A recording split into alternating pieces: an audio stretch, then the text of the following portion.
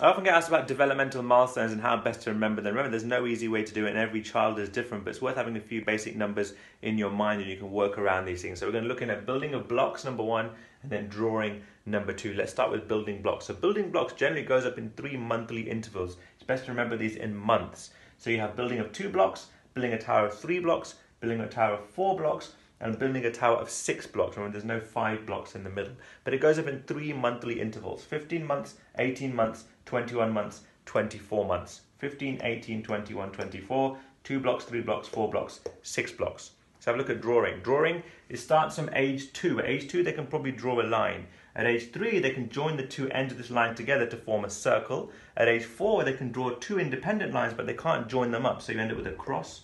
And at age five, they can draw independent lines, but start to join them up, so you get triangles or squares. Some people remember this as the fairy diagram. So you've got two, three, four, five to end it with a picture of a fairy. So blocks goes up in months 15, 18, 21, 24 months, 2, 3, 4, 6.